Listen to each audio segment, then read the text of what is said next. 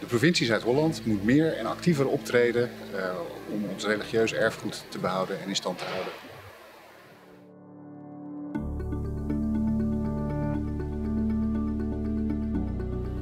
De provincie Zuid-Holland beschikt over een enorme rijkdom aan cultureel erfgoed. Dat zijn niet alleen die prachtige gebouwen hier om ons heen, maar bijvoorbeeld ook de molens, eh, de landgoederen eh, en de Atlantikwal als je kijkt naar, hier, naar de kustomgeving. Een enorm belangrijk onderdeel van dat cultureel erfgoed zijn de talloze kerken, kerktorens en religieuze gebouwen in onze provincie. Prachtige, monumentale gebouwen vaak die al eeuwenlang het karakter van een omgeving bepalen en vaak van verre al eh, de horizon aangeven.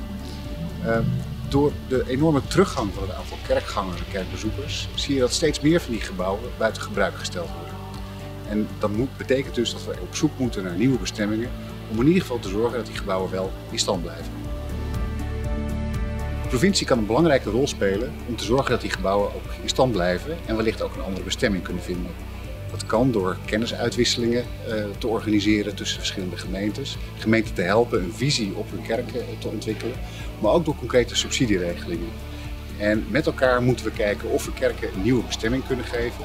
En ook kijken of daar bijvoorbeeld klemmende regels weggenomen kunnen worden.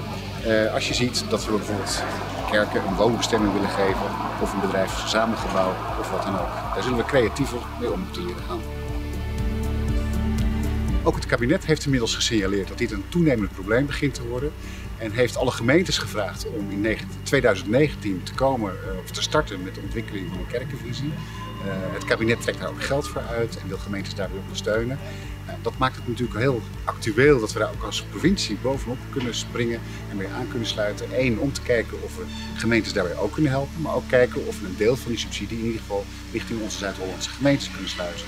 Nou, op die manier kunnen we gezamenlijk optrekken en kijken of we in Zuid-Holland al die mooie kerken en kerkgebouwen in stand kunnen houden.